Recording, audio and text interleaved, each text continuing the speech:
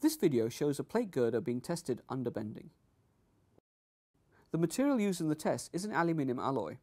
The web has shear stiffeners to prevent it from buckling.